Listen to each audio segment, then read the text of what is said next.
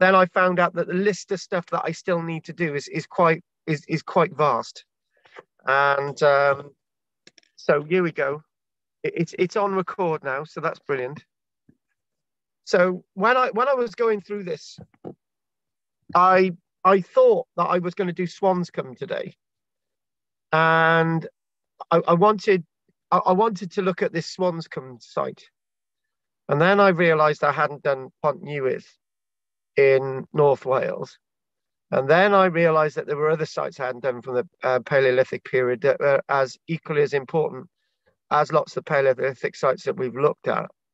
And I thought we'll we'll do more Paleolithic stuff next week. And also there's new stuff coming out in um in you know in in the in the journals. And the new stuff coming out is that there's there's um there's Neanderthal um, stroke uh, Denisovian groupings um, of, of DNA. So we need to look at that, not next week, but the following week. So I'm not going to close down the Paleolithic period because there's so much that I still need to do. So it was it was wise for me to sort of put the brakes on today, so that I could I could realize that there's so much that I need to encapsulate. So one one of one of the things that I did on Tuesday was to get my little my little charter, my, my little drawing board. Now the the advantage that we've got with this uh, technology of Zoom is very similar to the technology that I would have had with the old computer, which we've still got. And we've got the luxury of of the wonderful whiteboard. And the, the whiteboard itself, you know, I can just scribble along as I used to do in my classes, but it's a lot more easier this whiteboard. So when when we've been talking about when we've been talking about the word um, glacial, glacial, you know, the glacial period, I, have got to remind myself that the glacial period ended twelve thousand years ago. So that's the date that we've been doing. Glacial period, and you're seeing this on your screen, yeah? Yeah, I can see this. Yeah. Right. The glacial period ended 12,000 years ago, and we're clear about that. We, we, we haven't we haven't gone away from that. And one of the other things that I've one of the other things that I've said is that the next period that we do have, hang on, is it is it allowing me to? Oh, hang on a minute. It's not let let me to rub this out. Hang on. Is this okay? If we stop that doing that, uh, clear clear my drawings, good, if they are drawings.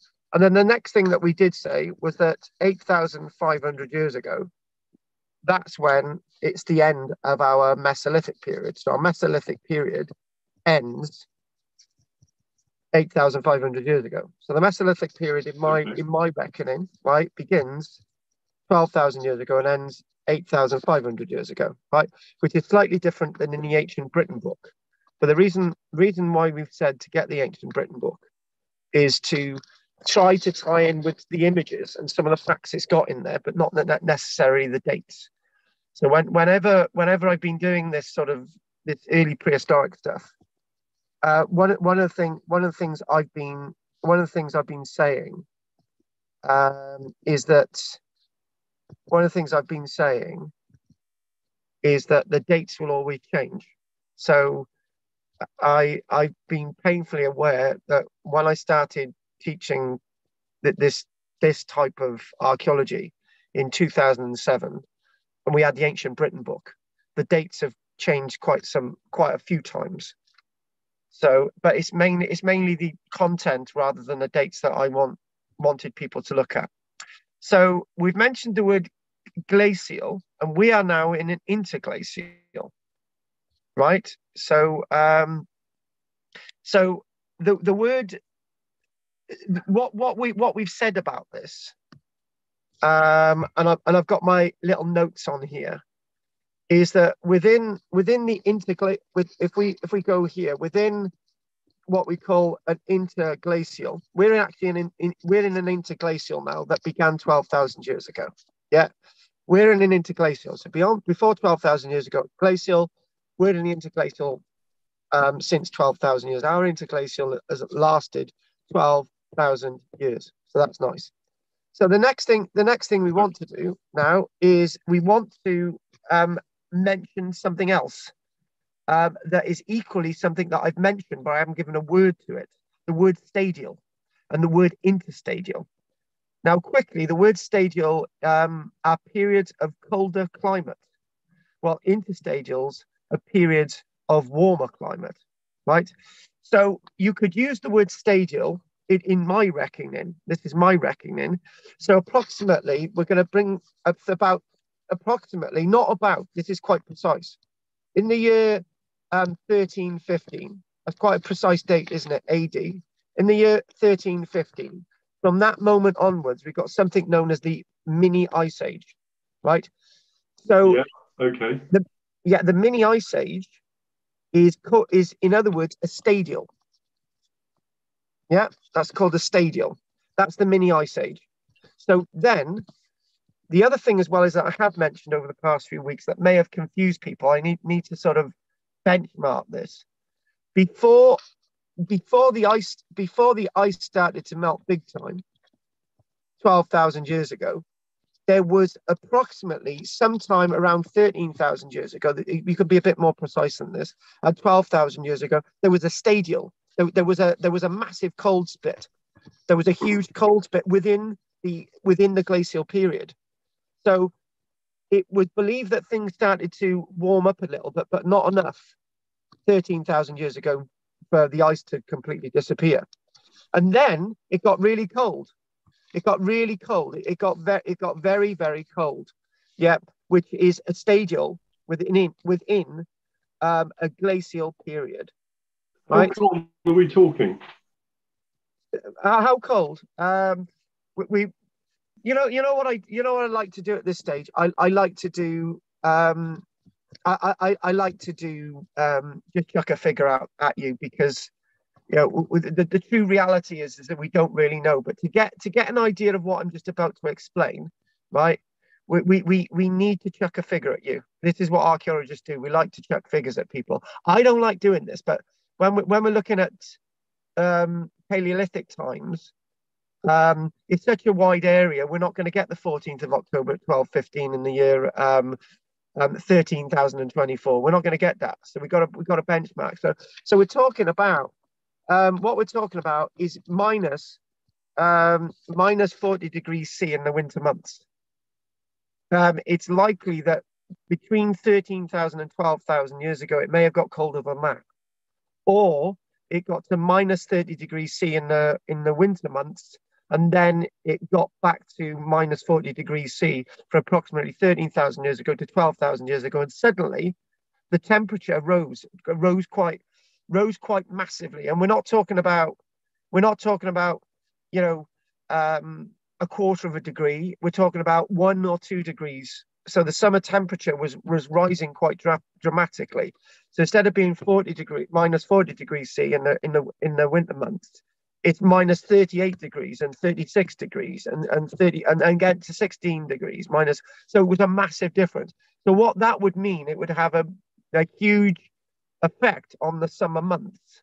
So the summer months are going to be longer right? Because the temperature is is is is, is dropping uh, uh no because the temperature is rising i meant dropping as in you know it, it it's, it's not as cold.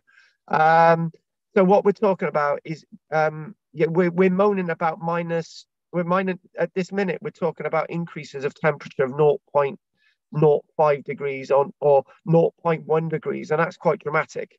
So if you're talking about a rise in temperature of one or two degrees, that that's that's that's systematically and psychologically dramatic for any animals and human beings that are within uh, this northern climate. Right. So then, then what we've got to discuss what I want to do to try and, you know, we have gone off on tangent, but we haven't because this is what I wanted to do. Because what we did do on Tuesday, the class went on until about 10 past 10, and we started roughly um, 20 to 8 because I asked everybody questions. I said, "What what what problem do you have with what we're doing?"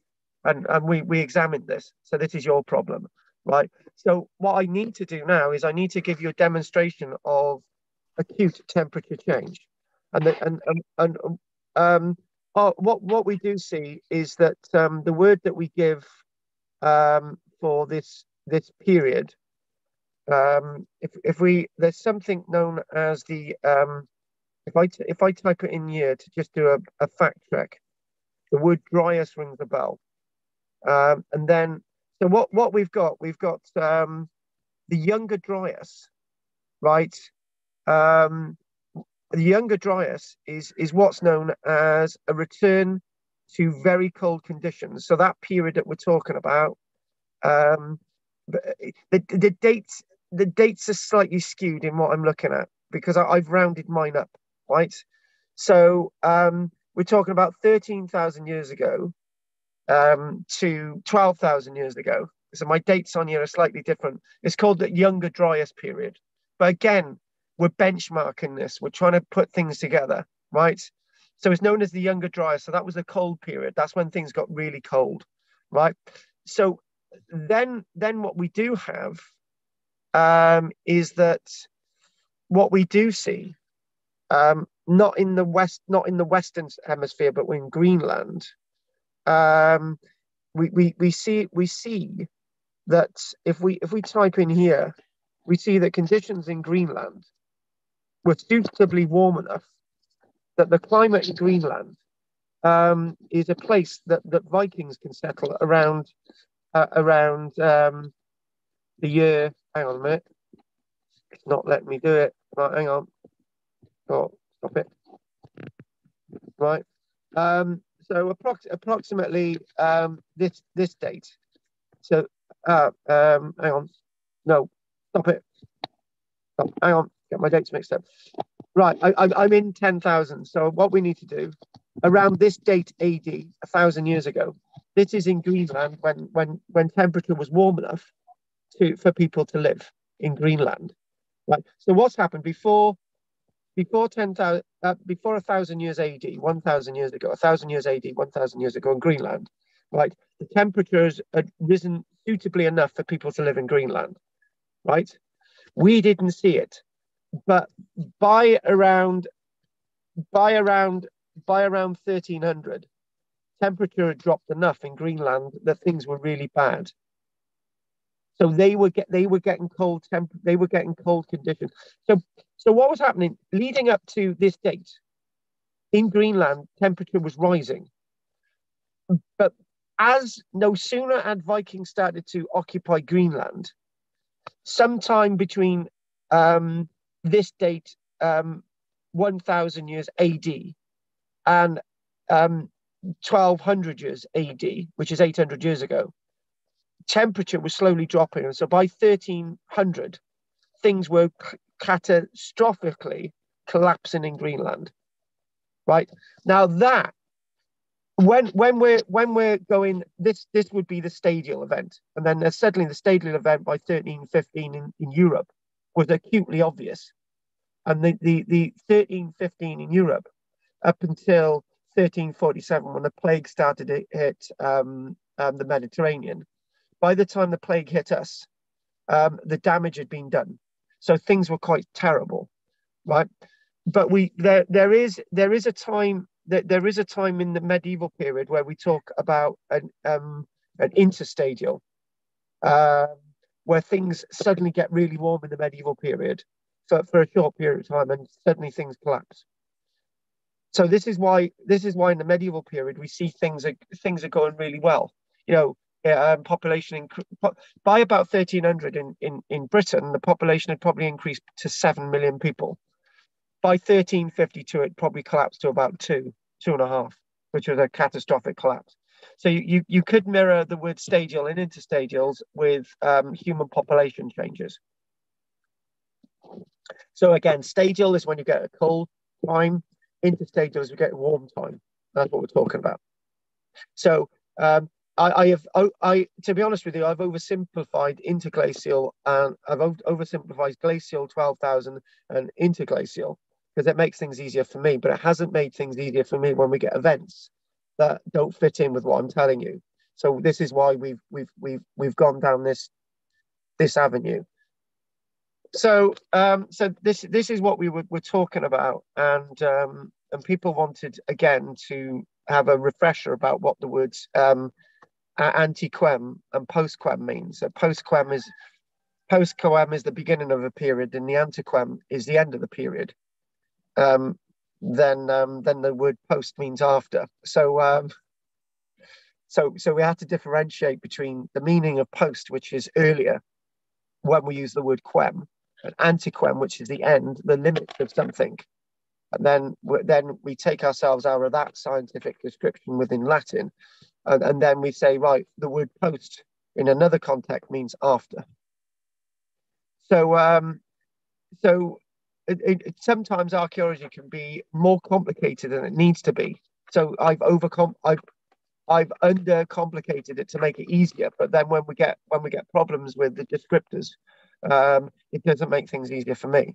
And it doesn't make things easier for me that I say go out and go and get a copy of Ancient Britain when I'm disagreeing with the dates. So then I've got to say the reason why I disagree with the dates is, is not the, the dates themselves, is we agree with the content because the dates are forever changing. And, and that, that's the important thing. It's the facts that are important, not the dates. This is this is what I this is what I always um, intimately want to get across right? So so we've done that. What I what I think I need to do, I need to get the vagaries of uh, of of of not what we've been saying, getting the vagaries, and then bring in the prehistoric stuff that we did after this on Tuesday. Um, and the, the site that I want to mention is if we if we click if we click that off, um, clear that, and we we think of if I type if I go off that um, and we do um, this and the what we were meant to do today was a site known as Swanscombe but then I realized that the topic of Swanscombe was was was too much um, on the back of what we've what we've been doing um, so what I did, I did an introduction. I basically said Swanscombe. Now, now Swanscombe is is south on the River Thames, so we we got an idea where we are. Um, this article refers to a skull at Swanscombe and another site known as Eb, um, Ebbsfleet. Um, and I just thought, right, we're not going to do Ebbsfleet and the elephant there. We're going to focus on the Swanscombe skull. Now, this is from an article.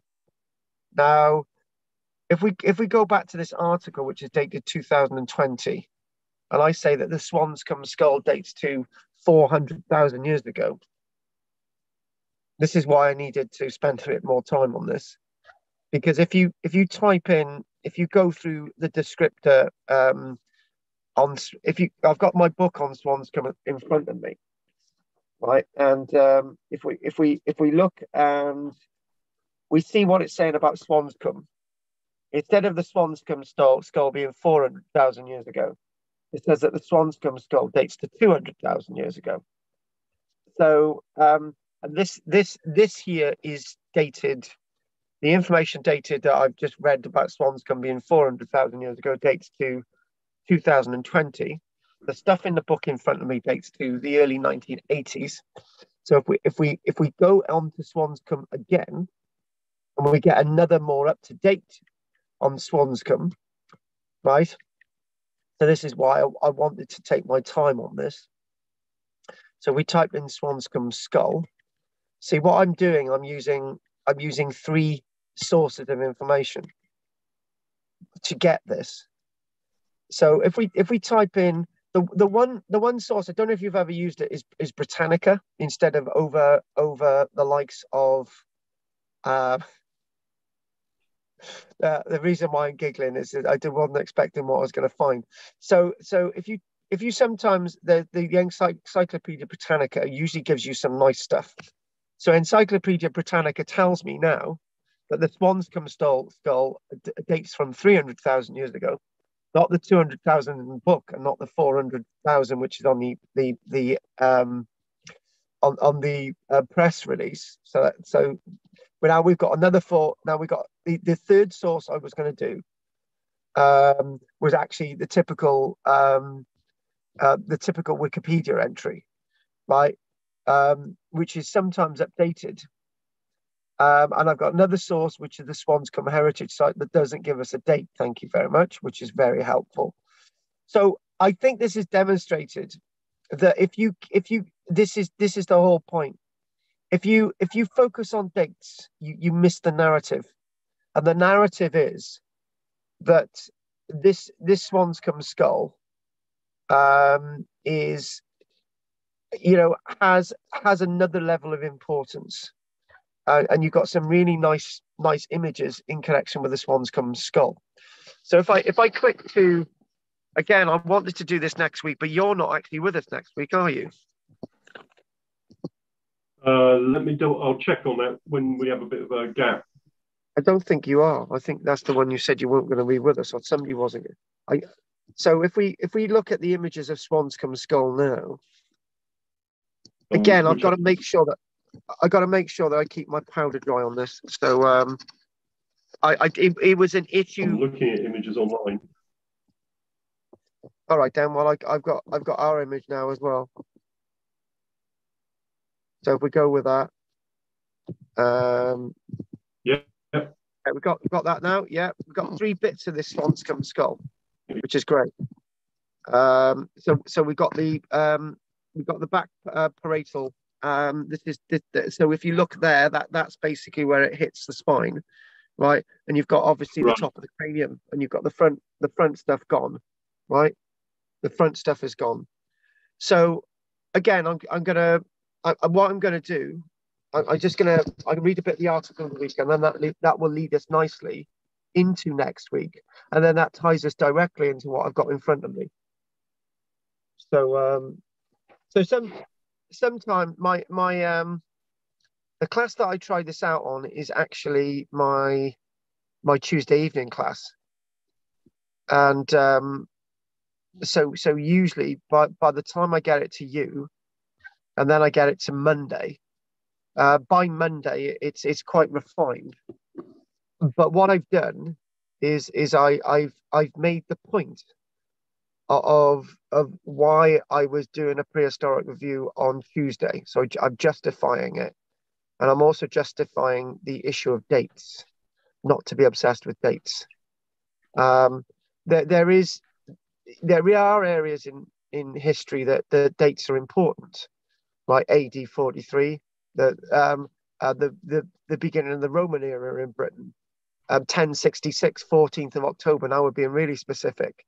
Um, the Battle of Hastings, um, um, and at the beginning of the first, the, the, the beginning of the Second World War, um, the first of September 1939, and the end of the Second World War, the second of September 1945 in Japan. So, so that's when dates are important uh, Nagasaki and Hiroshima, the sixth and the eighth of August. So, so that I, I think that's right with the with the two bombs. That's when dates are really important because um, you know it, it it does set the scene. You know, for example, Brexit. I can't even uh, was it Brexit that was first of January. I can't exactly remember. Right, um, but that's going to be important, or is it?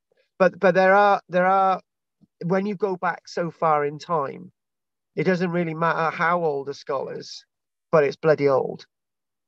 Um, so if we if we take if we take the date out of the headline, and then we say, um, thankfully, for the residents of Swanscombe, uh, they don't have to travel to piece together a vital piece of early human history. And I think the word piece is referring to um, the three chunks of skull that were recovered over a series of time.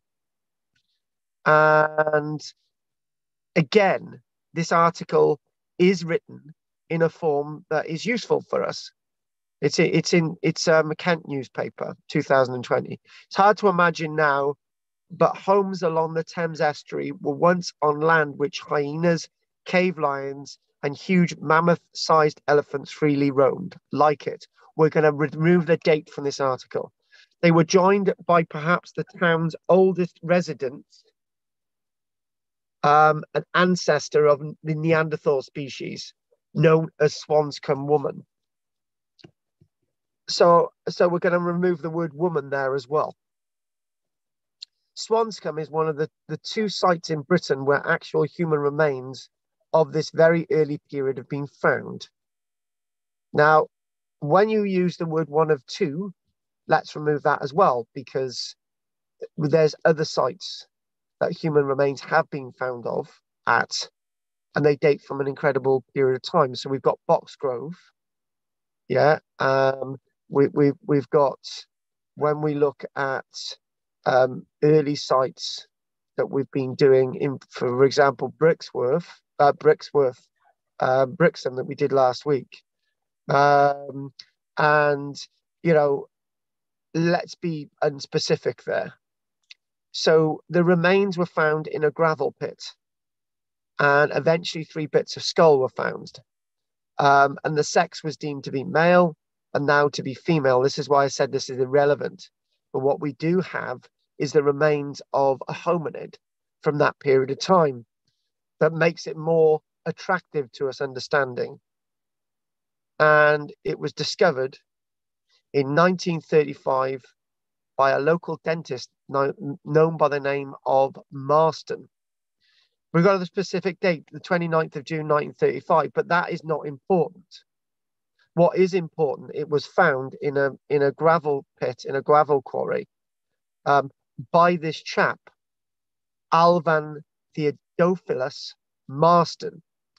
Now, some of the stuff that I I, I really struggle with, um, he, uh, he, he dug into this quarry quite a depth to try and find some history. Right.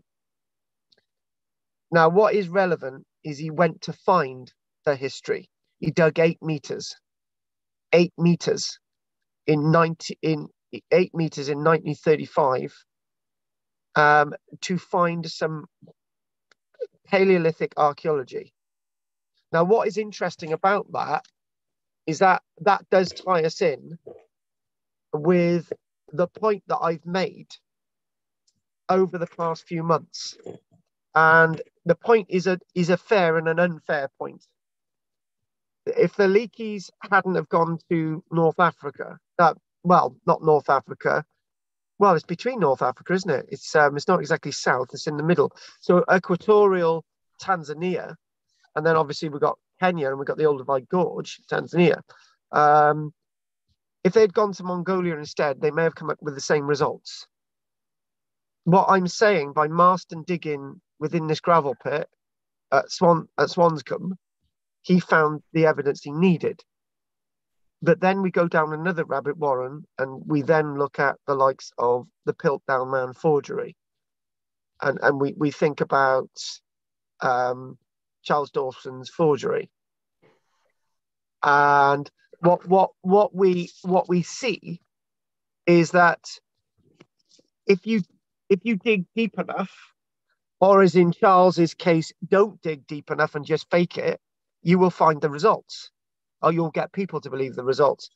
Now, it, it makes sense for me to make the following statement. If Charles Dawson had been a genuine archaeologist and he'd actually dug down, he may have found the evidence that he wanted to give to people anyway. So he was a fool to himself.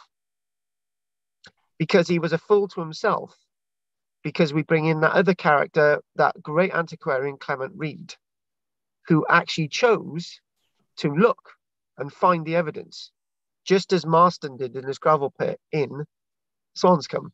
As the same with Pengelly when Pengelly had been excavating at Kent's Cavern and Brixham Caves he he looked and he found the evidence, and then it goes to something else. Um, I don't know if you ever saw um, Bonekickers, that six-part series with um, Julie Graham and Hugh Bonneville Carter. Um, um, that was in 2008, and I love that because I hated it at the time. I told people not to watch it, and I really regretted that because there, there was a great deal of science in it, and there was a great deal of science in it from my friend um, uh, uh, Professor Mark Horton, who did the science for the series. I didn't know there was science in the series. I thought it was just a bit of a joke, but it wasn't. It was serious stuff. So, um, when when Mark Horton was um, doing this research, anyway, he must have written this down. And, and Julie Graham said in it, she said somebody, she was on a development site, and I think the first episode, and this developer come up and said, "Oh, why have we got to stop the work for this? There's obviously nothing in the ground." And she said, "There will always be something in the ground. There's always something wherever you dig." And when you think about it, that's everything that we've just said. That's from a TV fictional series about archaeology. But that was very, very accurate. So a bone, a bone, one of the skull bones was protruding. I, mean, I think it was a parietal bone at the back. I think we'll come to that next week. Um, so the story goes he was unsure whether uh, whether to retrieve it straight away in the absence of photographic evidence and thus risk controversy over its location or leave it in the same spot. Now that's interesting. That takes us back to um, uh, Charles Dawson and the um, the forger at Piltdown, where here's the evidence. Where did it come from? Arthur Ketch went to the site, and as Arthur Ketch is is, is gone off site, um, it looks like um, Dawson fakes the evidence for Arthur Keach to find. Now, Marston was very aware of this, that that he's found something by digging genuinely, um, and he doesn't want to be seen as a, a forger. He eventually decided to remove it and mark the spot before leaving the fragment with a chemist on Milton Street. After his find, he returned every weekend with his teenage son John and is said to have been so relentless in his pursuit that he even erected a wooden hut to sleep in. Nearly a year later, on March the 15th, so this guy is the same age as me. Nuts. Nearly a year later, shut up. Nearly a year later, um, on March the 15th, so this is 19, so now we're in 1936. I don't see, the thing is, I don't see the relevance of these dates. I really don't. I, I really don't. But the, the dates give credibility to the article. Do you see what, see what we did there? So yeah. we need credibility for the find. Um, so whenever you're looking at archaeology and you want to put something across, you need to look at the relevance and just ignore the irrelevance.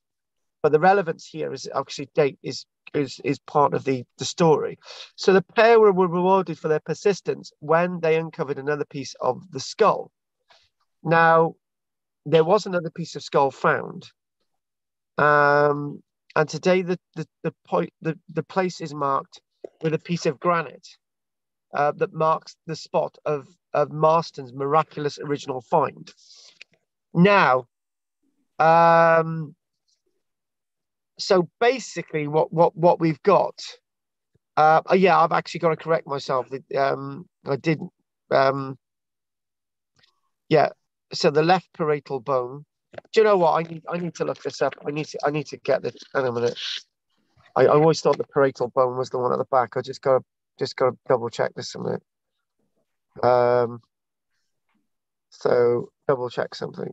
Uh, ren, parental bone. Uh, rental bone. Hang on a minute. We're coming up with it. Uh, right. Hang on. No, no. Oh, right. Okay. Here we go. Ah, right. No right the parietal bone is the side bit just before just before the frontal bone which holds the yeah so the oct, oct, um um oct, occipital oct, oh, occipital bone. The occipital bone is the one that carries the spine or, or is linked to the spine occipital bone and the parietal bone. So yeah so i needed to correct myself on that. So um so the parietal bone is the side occipital bone is the one that you can see at the back. So what we need, so basically the left parietal was found. So glad we got that, and they they they've they've got the two. They've so got the original and um, you've got the left parietal, um, and it said we had encountered a pocket of bones, including a rhinoceros tooth, uh, early in the day. But in the later afternoon, I began to encounter the parietal bone. There could be no doubt about it. Mr. Martin Marston would continue to search the pit for many years after after, but without any success. bloody hell, I'd like to be his wife. I really would. right. Um, I don't know how long he went on for, but um, he was not the one who had actually found 20 years later um, the final piece of the skull or, or the third piece of the skull. And the whole the whole point of this story, it's it's almost as if it's a microcosm for everything that we've done the past few months. Well, not everything we've done. So so what when when we when we talk about Pengelly's work last week, we talked about Pengelly's work within uh, Brixham. Um, in night in in 1847. He he he dis he, he um oh he, oh hang on get my dates wrong. Yeah yeah. No he goes at Kent's Cavern in 1947 right? But he's aware of the Brixham Brixham caves. That's right. And then he goes to Brixham in um, 1858 so he's in Kent's Cavern 1847 he's in uh, Brixham 1848 and then um, he's back at Kent's Cavern in um, 1865. Now, this is where dates are really relevant. But what what what we're doing along that is we're we're trying to track a course of discovery to enhance the earlier discoveries. So he doesn't. He's lucky he doesn't work at Kent's Cavern in in 1847 because he has not got the archaeological techniques to work at Kent's Cavern in 1847. He de- develops them at um, Brixham in 1858, ready for a massive full scale excavation for 15 years at Kent's Cavern. That's why this is relevant. Right? The story doesn't end there at uh, Swanscombe. Um, but that's where we end today because at Swanscombe, we, we go back to when it's the place of a in 1877. And that's where we'll stop that today. So what we now need to do, we, we need to look at we need to look at what's called distant figures in the mists of time, which is really which which is really that sort of um, uh, uh, uh the the final epitaph of everything that we've been doing in the Paleolithic period, but we're doing it now, and, and then we'll just I just say we've done the Paleolithic period, we'll just move on. But I needed to do this. So um, one, one, one, one thing that I would say is that um, when when we decided that so if we if we move out of that and we go back to stop that there when we decided when when when we decided we were going to do prehistory, um, I said that I wanted to do a bit of Neolithic and a bit of Paleolithic and a bit of Bronze Age and a bit of early Paleolithic. And somebody said, hang on, wait, wait, wait, we're not going to do that because we're just not going to get it. And I'm glad I didn't do that. What I wanted to do, I want to, um, I wanted to preach to the masses. I wanted to do what may have seemed to be boring but boring Paleolithic archaeology has not been. It's been absolutely massive and fascinating, right? And then put some really exciting stuff in like Stonehenge and then go back to Paleolithic. I'm glad I didn't do that. I'm really glad I didn't do it because we've started to uncover that the Paleolithic stuff is more intriguing and more fascinating and more amazing than than we could have ever given it credit for. In in in so many ways, um, the Paleolithic period has been the model for every other period that we're going to look at. So beginning at the beginning, basic rule, nice. Um, but again, it's not easy to understand the beginning of Paleolithic, the Paleolithic world. Because there is the disorder that I wanted to avoid. And what, what we're talking about, what we're talking about that it's something that we didn't discuss on Tuesday, but I did intimate that. It's something I did last night. Now, what what I said last night, what, what we did last night was the the um, the development of the wheel, and what actually is a wheel. And a wheel is a straight line, uh, and it keeps going in a circle. I'm doing lines. That's what I've been teaching on a Wednesday. I've been doing lines for months. Everything is a line everything is beginning and end, but the end is the beginning and it recycles and all that type of stuff. And so many different pathways. So a line, a line is is not necessarily straight. A line doesn't need to be linear. A line can just keep going in any direction, like a wheel. Anyway, the one thing I said is that um, what actually did come first?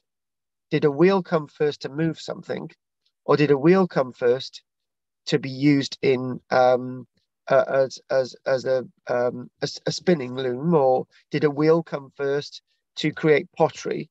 Did a wheel come first as as a log to move stones? Uh, did a wheel come first as a child's toy? What came first? We're not answering that because we haven't got an hour. But but what we are going to say is this: I've presumed, and I made you to presume, or have I, or have, have we have we left it enough room to think that did we come down from the trees in Africa or did we come down from the trees somewhere else? Or wherever we come down from the trees, did we start off in a tree in the first place? Did we start on the ground? Did we go into a tree? And did we start making tools? What I've done, maybe, or maybe I haven't, because I need to go over everything, which I haven't got time to do. Did we came did we come out of a tree and start walking and use tools? Did we start using tools, but we did hadn't come out of a tree yet? do we still work walking on all fours um, um, at the same point that we were grinding things and then we started walking upright did we start make making fires before we came down properly out of trees and start walking in a bipedal way the answer is all of it we actually don't know because if if walking upright um, is not as much of an advantage as making a fire, then you're going to make the fire first. And and the simplest way of looking at this is do we do we um but basically natural yeast is everywhere, right? Um so accidental yeast um in the fermenting process did did um fermenting liquid okay, have you got fruit? You go, natural yeast and all the rest of it, acids and so on. So did did the um, did we start drinking um, an alcoholic based substance before we started making bread, or did or did or was or, or did was some bread left in water that that um, do you know what came first? It's the chicken and the egg scenario, but it's a lot more complicated than that when you're chicken and egg scenario, um, um, that is quite simple compared to the process of you can you can either say one or the other, but you can't do that with when we're talking about human evolution and how the mind develops.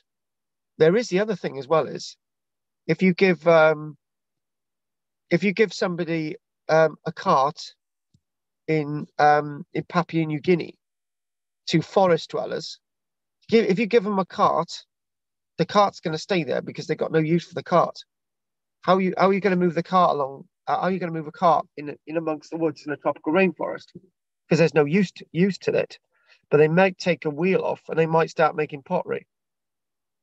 In in Central America, they the we we we're pretty sure that the, the wheel was not um, in in essence available a wheel.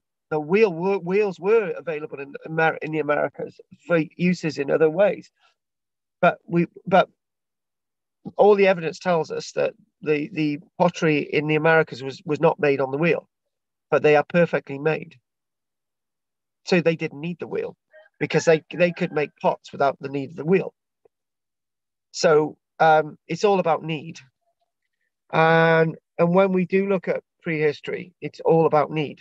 It's it's all about um, it, it's it's all about trying to understand trying to understand something that does not need to be complicated because humans just take the best path many humans just just take the, the, the best way to get from a to b and um, I, I, bump into this chap on a regular basis every time i'm posting letters right he always i always see him every single day right because he lives next door to the post box. So he comes out and he says, I'm going somewhere. So yesterday I said, Why why you, you don't like walking? And he says, No, I don't like walking. I just get from A to B. And the reason why I see him a lot, he goes from A to B and he comes back. And then when he needs to do something else, he goes from A to B and he comes back. He does not stop in the way in the anyway, right? Most people would do everything in one trip, but that's his way of doing things. So the story of man in Britain, the story of man on, on the planet, is is one of of of ex, extensive expanses of time and expanses extensive uh, changes with everything. And you know, when we talk about everything, one minute human beings um, are living alongside uh, mammoths, and the next minute they're not living alongside mammoths, and we're isolated on an island. So we've got to make do with what we've got. It's all about making do, and it's all about um, that sort of change. But there is one thing that we can say about one thing that I that I haven't said, and one thing I'm going to say now, um, and I don't think I've I've really said this at all um, in months, or, or I've said it that um, I th- think I said it once. Um, the, the Paleolithic period is a very very slow period of human evolution. Is that is that a true statement? Let's examine that a moment. Because um, what, what, what we do find is that in this century, if, if we want to encapsulate this century in two minutes, we get to 1914 and uh, the planet is on the edge of peace and the planet is on the edge of technological innovations that could have taken us to the moon, say, in the 1950s. I don't think it would have, but maybe it could have, right? And in a moment, all that technological innovation was used for other purposes. And, and in a way, that destroyed humanity. That event in 1914 destroyed everything.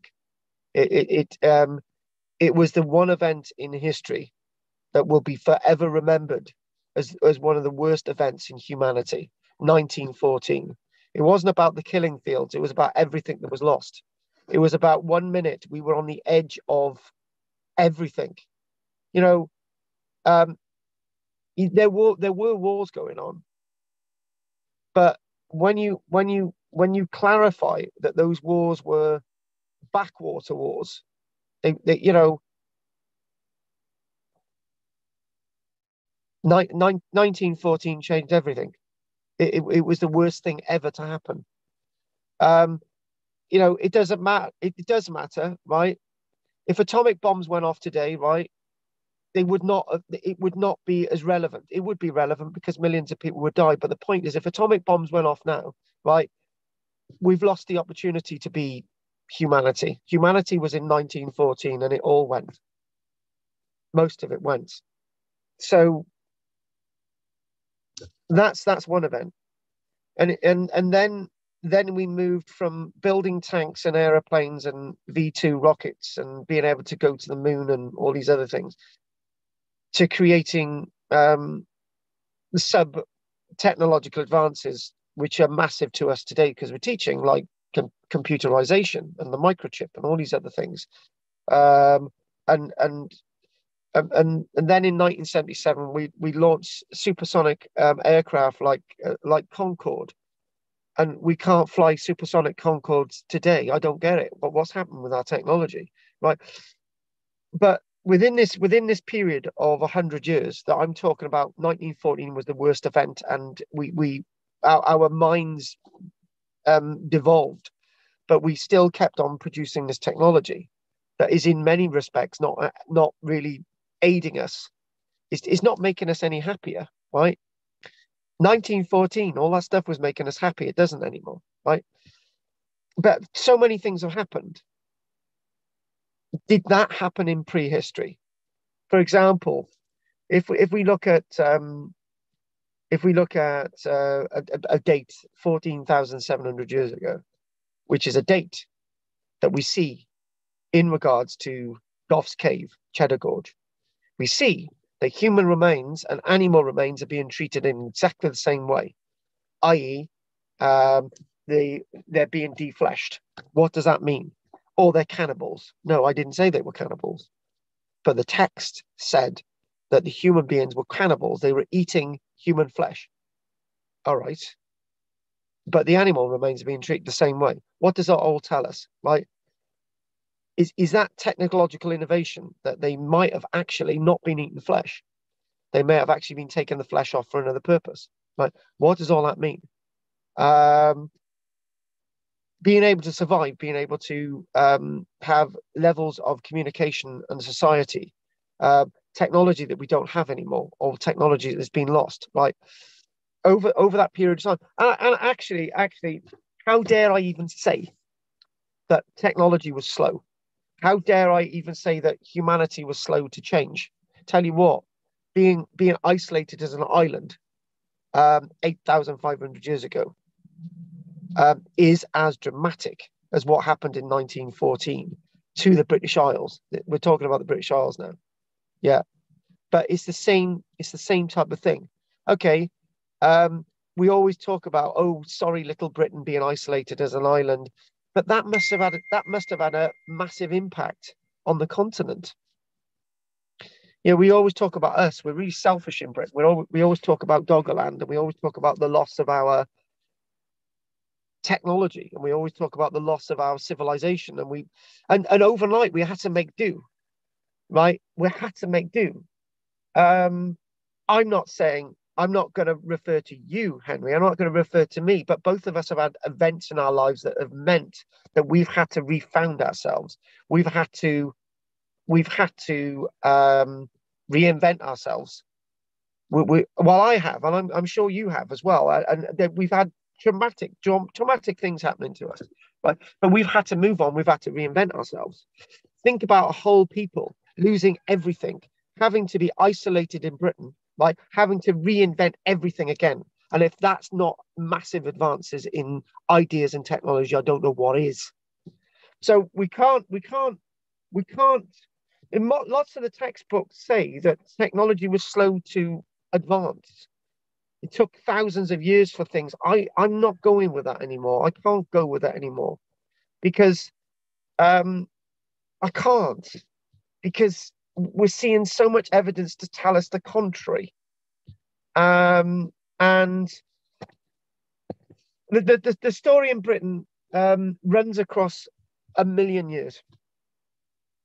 Um, and it's there there are there are so many alarming events and there are so many differences of events um, and and what what we do see is those changes. We now we can use those words in context. We see interstadials where where where humanity. We see interstadials of humanity where we get um, hippopotamuses living alongside humans, lions living alongside hu- humans, hyenas living alongside humans. And the next minute, you get um, things get cold again. You're back in the glaciation. Um, and what what I what I feel is is massive here is is the ability of human beings to to see each other as human beings.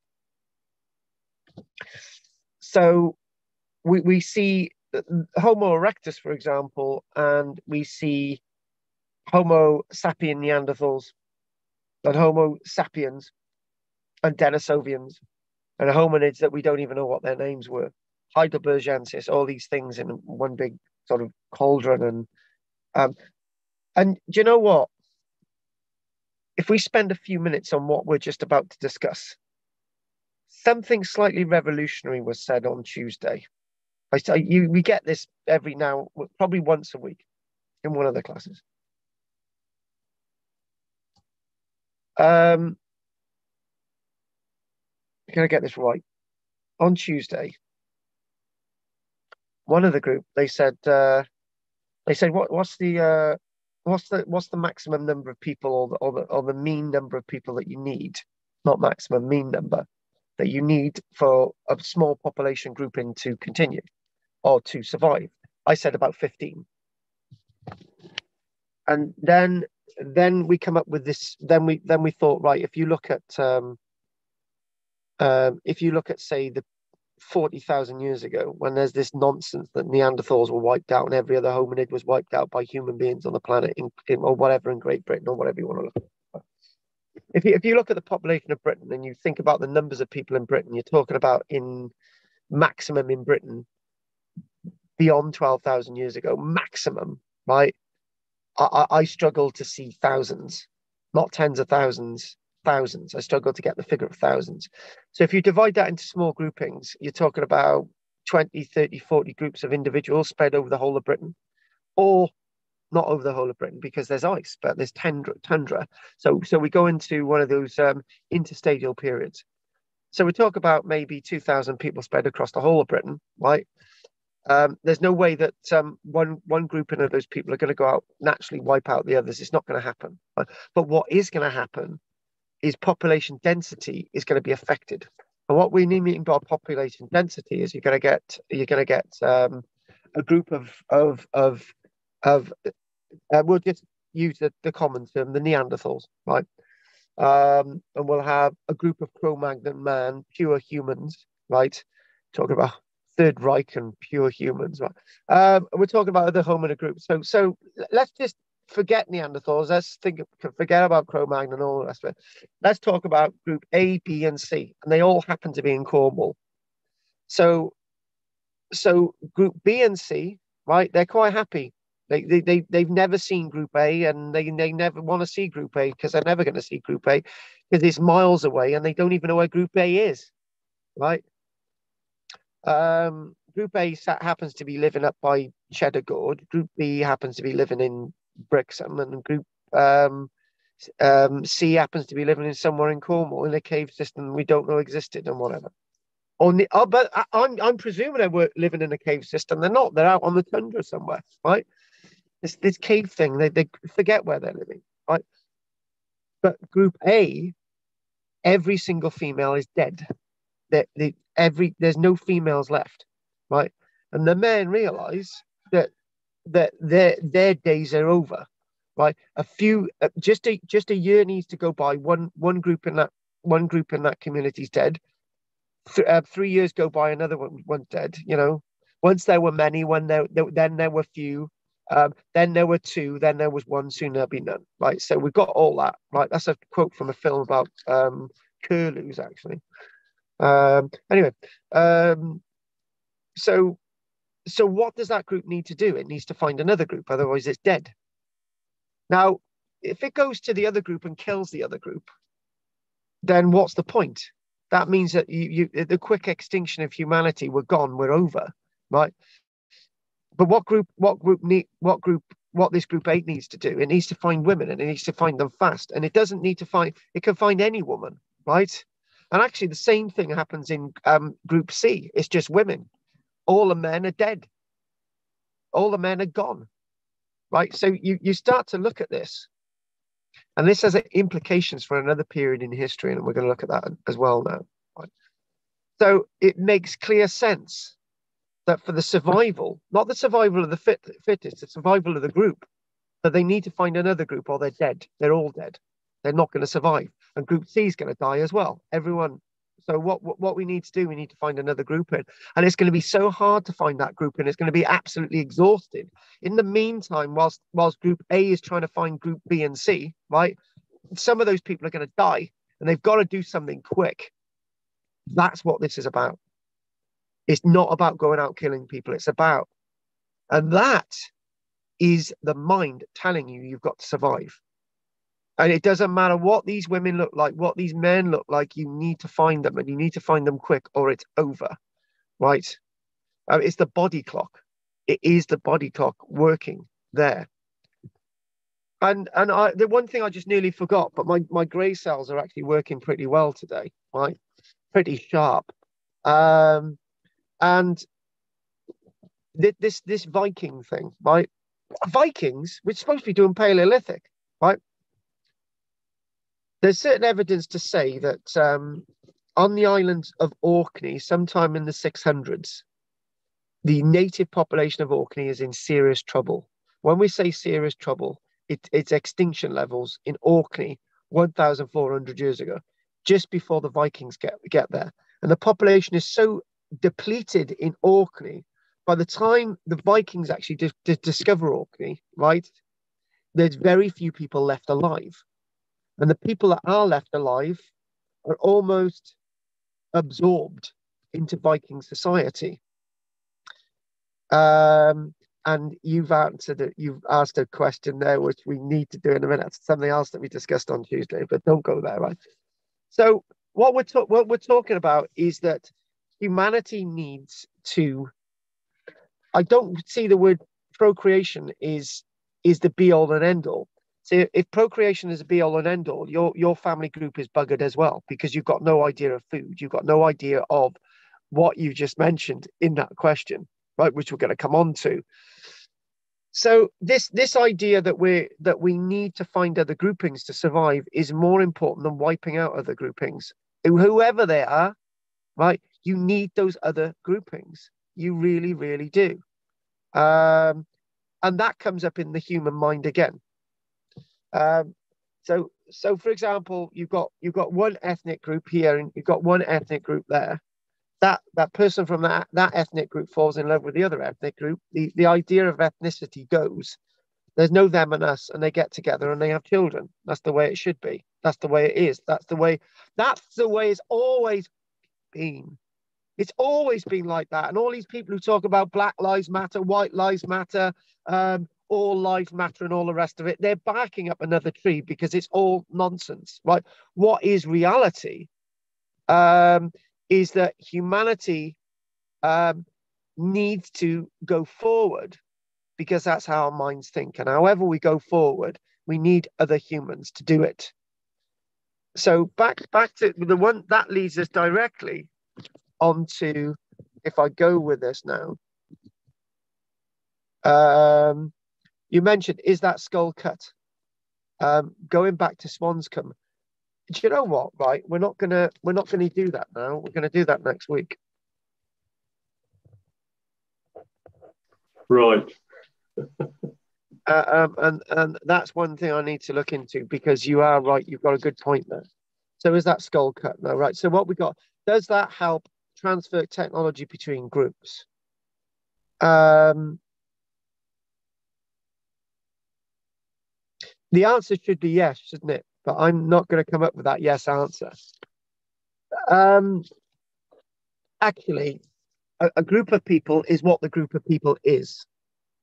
So the group of people will find and get that technology even without other groups. That that is clear. We see that with Easter Island. Um, and Easter Island is extremely controversial. When we do an Easter Island, um, is very likely that um, when we were doing Easter Island, we started to come to the conclusion um, that the people of Easter Island didn't wipe out the trees. It was the people coming into Easter Island who wiped out the trees, i.e., the Dutch and the English later on after the 16, 1700s, right? So finding other groups um, might undo your technology. So the group to access other technology has to be based on the premise that a technology is required, not necessarily that it's put upon them. But there's there's a good example of this, and I keep using this example, and I wish I'd written down where exactly this was when I found it. Um, a few years ago, I was reading I was reading about I was I was reading about Roman Britain, and um, there there was a Roman villa that they they had actually constructed a a um, hypocaust system, right? And this hypocaust system had was perfect. It was perfect. And then they realized that the hypocaust system had never been used. So what happened is that um, a native Britain, we call them First Nation Britain, or somebody that somebody who had a daughter that had married somebody from Italy or whatever. Anyway, they they they uh, they they they, they had this technology built, but they never used it. They never ever used it. So this is why I said be careful when you say, does that help transfer technology between groups? Yes, but sometimes it really doesn't. It it um um it infringes on the technological development of the group. Isolation leads to technolo- technological innovation, right? And um, if have you have you ever have you ever seen that film Castaway with um, with with with um, with Hanks? You ever seen that one? Ever seen the film Castaway? Yes. Yeah, Tom Hanks. Yeah. Uh, Very, very uh, basic. um, yeah, because um, But basically, Tom Hanks has all the technology, but he's got to start again. Um, he's got a torch. He leaves it on, and, he, and he's got no battery. So he, he's got to he's got to invent all this technology. He's got to start again, right? Even though he's got all this te- he's got all this technology there, but he's got to use the technology for other things. And, it, and it's a great film. Um, and I, I remember seeing that years ago. Um, and for me, it was as good as watching um, the film Groundhog Day, right? Because no matter they, they've actually they're actually they- they're in in they've actually got the same formula, right? You've got everything, but you've got to start again, um, and you've got to reshape yourself. You've got to reshape everything, right? Um, and and the, the one the one thing that that we've got to see is that um, pre prehistory is is more about the evidence um, and allowing the evidence to talk to us than forcing the evidence to tell us what it means. So, and somebody somebody then remarked on Tuesday. This is why it was so good to do this. They said, "Well, how can you base all this on a few bones?"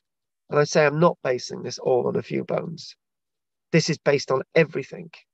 But what, what everything is, is only part of the jigsaw. Um, cave archaeology is only part of the jigsaw. So as far as we know, as far as we know, th- this this is blasphemy now, right? As far as we know, they they could have actually have been building roundhouses with with hearths out in the middle of the tundra um, and they had little communities and all the rest of it, yeah. And then the ice comes along and wipes it all out. Now, the, reason why I'm saying that's blasphemy is people take that further, right? What they do with that, they they they they take that idea and they say, oh, actually, um, the ice, what there was at one time, there were great cities that existed forty thousand years ago with cars and planes and all the rest of it and the ice came and it wiped everything out. That's not that's not exactly that's not what I'm saying.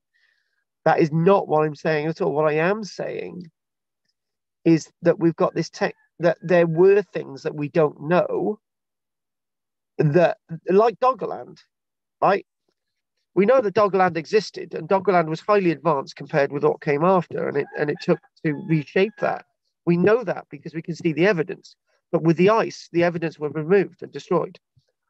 Now, um, this is this is something that I I've not spoken about, and I don't think I've, I've I've spoken about this before, and I'm glad this is being recorded. Um, when I when I was when I was about um, when I was about um, 11, 12 years ago, I I I sat down and I thought, why why don't we have sanitation in caves? Why don't we have toilets in caves 12, 13,000 years ago? This is how I used to think. I had quite a sad brain when I was a child. Um, and I used to think, well, why couldn't they have done this? Why couldn't they have produced pottery? Why couldn't they have kept themselves warm? Why couldn't they have done blah, blah, blah? Right. And the problem is, the answer is I'm not going to find it. I'm not going to find it in a cave. I can't find it in a cave. But where I could find it is in places that have been completely erased by the ice. And I'm not going to find it. I might find it one day. What I was trying to do, I was trying to use a modern day analogy for a flawed archaeological context. Caves are flawed because it only represents part of the picture. However, if we ex- excavate a Brixham cave in Tor Bay, where we not only have evidence of lots of the things that we talk about human bones and so on animal bones and eating and stuff we might actually find evidence of habitation. And we have found evidence of habitation from the bronze age within the cave network of brixham. Why are they living now, now this this this is a strange thing. This is very strange. Uh, in in um, in in um, in the Bronze Age, 99% of our archaeology from the Bronze Age comes from sites that are not in caves. Probably more than that. If you if you read a book on the Bronze Age, right, it will talk. It will talk. I, I don't think you're going to find any references to the Bronze Age in caves, but you might. But mainly you're not. And even if you do, it's going to be a paragraph, right? And that's it. But what we've done, we found a lot of evidence from the Bronze Age in caves on the Gower, at Brixham, right? We've and, and some of these other locations as well. But those two sites, the uh, Gower and the Brixham area, we do have Bronze Age evidence of people working and in the case of Brixham, living in the cave. Now that go, that puts everything on its head. Why are people living in caves in the Bronze Age? But why are people living in caves in um, um, in in in Africa and in Spain of all places? Spain, sanitation, electricity, gas. In people living in caves in Spain today. Why are they doing that? Why why can't they just be happy living out yeah. So, so the thing is, you see, that everything that we see about Paleolithic period always needs to be challenged, and we cannot be obsessed with everything having more of a massive picture than it is, i.e., Paviland Cave. Now, as you know, I believe that Paviland Cave was forged from from genuine evidence. Um, and then we look at the other caves and we actually find the evidence that we need to find. And um, but whether or not people agree with me saying that Paviland Cave is forged or not, um, it, it's it only gives us a tiny amount of the picture anyway. So the significance of Paviland Cave is is not as big as it's given. It's important, but the whole picture is important, not these little bits. You you can't. It's it's it's like that old adage, isn't it? You can't. I was on a train this one time, and there was there was this guy sitting opposite me. Right, I didn't talk to him. He looked a bit of a thug. Um, he had tattoos on his hands, right, and he looked a bit of a thug. Thug, right? I didn't talk to him. I was on the train for like two hours. And about half an hour before he got off, he adjusted his jumper, his hoodie, and he had a dog collar on. Um, he was a priest. And I, I had judged this individual on the way he was dressed, and he talked to me quite eloquently. He was clearly a priest. And and that is that is the point. That is the metaphor. Um, the the the Paleolithic period, period is so flowery and, and, and so in depth and, and, and so much that it's a really light and really interesting period in our time. They used to call the period be, before 1066 the Dark Ages, but it's not. It's illuminating. It, it, it stands out as being as being out there and, and being so amazing. So what what I'd like to do, I know I know you've got only a little bit of time now. You've got seven minutes, so we'll uh, we'll leave a minute for questions.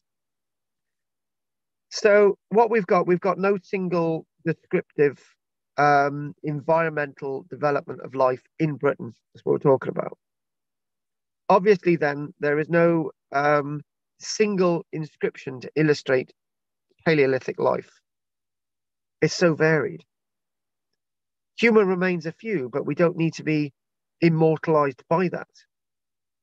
Um, what we what we do have left is the dustbin of history.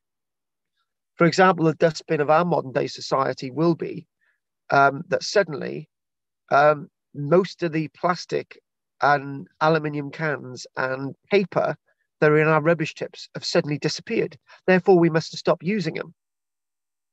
We didn't. We use more paper and plastic and um, tin cans than we ever did, but they've just gone somewhere else. That's an interesting point. It's the same with the past. Tool making cultures are given various different names within the Paleolithic period. Names that I never use. Mousterian, which is the culture associated with the, the tools, the big tools that Neanderthals would have used. But I never use that. I never do that. What what we need to think is about again back to where we started. We need to look out the leading lights of archaeology. And whereas anyone watching this today, this recording, or yourself, you might feel that I've I've given the Leakeys a discredit to um I've, I've, I've dis- in some way I've discredited them by saying you know um you know anybody would have found the evidence in Olduvai Gorge if they if they had looked no they wouldn't have. It, it happened to be that the Leakeys went there and they were highly skilled to do so after 1935 Louis and Mary Leakey. Without Louis and Mary Leakey's persistence we would we would understand so less the evolution of the human family. And I know I've said if they went to the Mon- um, um, uh, Mongolia, um, they would have found the same evidence of someone else, right? They, they would still be amazing people. They they died and they died and bred. Um, Richard Leakey, um, you know, they, they they they had children, they got grandchildren, still continuing the work. Um, they they told us a way to go forward, and the way to go forward is is is revolutionary. And they've helped us go forward. They've helped us understand um, Mary Leakey finding um, footprints in 1976, um, four years after the death of uh, Louis Leakey, for example, a beloved husband, and this is why they went out there and so on. Um, and obviously the other hominids and all the flints and everything that they found. Uh, this assists us in understanding, but not giving us the full picture, which we never will have. We can never have the full. I, I can. I, I, uh, even as much as I write down and as much as I've got a diary, I'm never going to remember everything I did yesterday. I'm never. It's never going to happen. So I'm never going to get a full picture of what happened to me yesterday. I'm never ever going to do it. In fact, I'm never ever going to remember every single thing that we've discussed now, but it's being recorded. But my feel that this is a point, even though this is being recorded, I'm not going to know the feeling of everything I felt when I was saying it. Whether I felt whether that was right or wrong, and eventually I got to being it the right thing that I felt it was. So what we what we can't say is that um, the be all or be all and end all of prehistory is about the Neolithic, the Bronze Age, and so on. It's about everything. So, and then then one thing that we need to do is think about is think about um, where we see the evidence of the human family uh, in Peking. Um, we, we see Homo erectus remains, and we look at Aust- Australia, um, um, Australia, and we, and we, and we look at um, the, the, the, new stuff coming from the Americas and, and, and Europe, and we, we, talk about early hominid remains being found in Romania and and Germany and and the likes of Turkey and, and Greece, uh, uh, other than everything that we're finding um, in in Africa.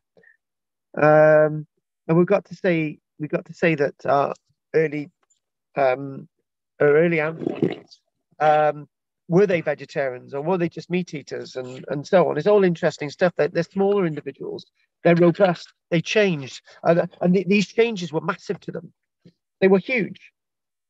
what what we what we can't think of is this. We we can't we can't compare the microchip with what they were doing in the past. So coming out of a tree and walking around is as revolutionary as the microchip. And and and the evolution from moving to eating one food to another food. Okay, I know you've got to go now, but but this this is a good place to end. Um, humans realizing that you can eat that and not eat that because if you eat that, will kill you, right? That's massive. Computers can't kill you. They can. Um, but these people had to make massive leaps. Tell you what, if you put you and me in a tropical rainforest, right? Um, the best thing that you can you and I can do is to eat meat. I'm a vegetarian. not going to say that, but would be to eat meat. Or to um, and the best thing to do is eat animals that have just died. Brilliant. They may have died of, died, died of a disease. We're going to catch that. But these are massive revolutionary steps, the same steps that we made to um, invent Concorde. That might not sound, but it is. It's the same thing. So on that note, let's think of Swanscombe next week. And let's go to Swanscombe next week and try and understand um, the caveat, which is everything that we've done. So um, on that note, um, and you know what was said to me on Tuesday? I put so much information into Tuesday that everyone at the end needed a sheet. I'm hoping that I've not put as much information in Tuesday, but given the same amount of content in a different way. So I have done my talking. It is finally over to you, and then you've got to go.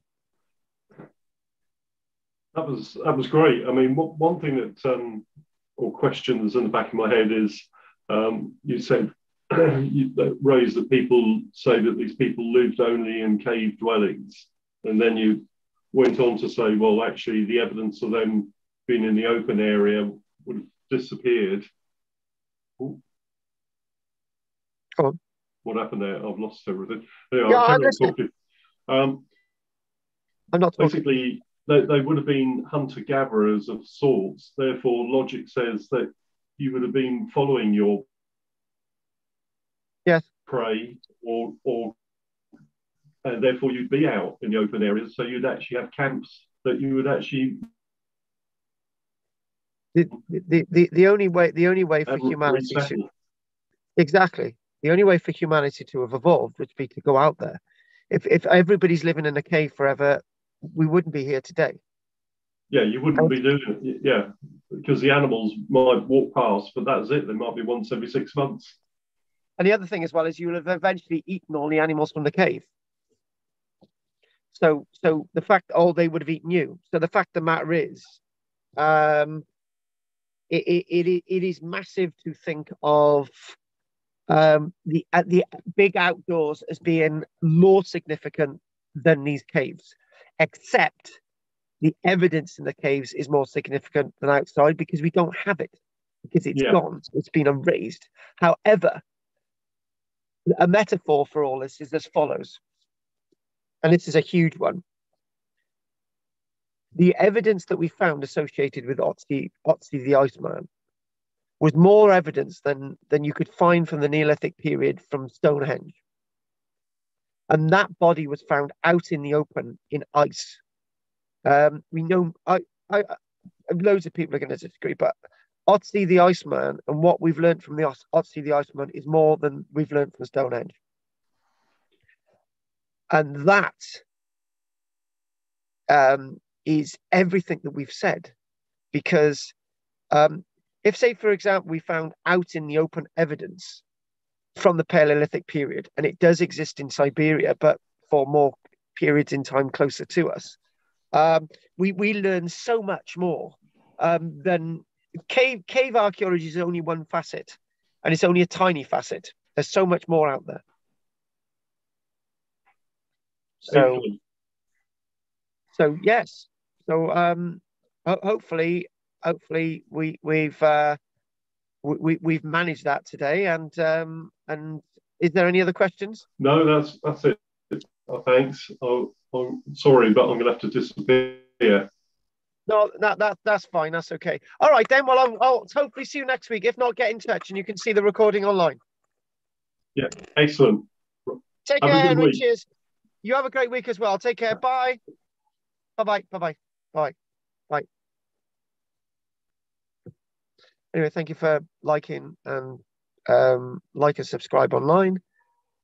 God, that's really taken out of me. Thank you very much. Take care. Bye. Thank you. We need a shave.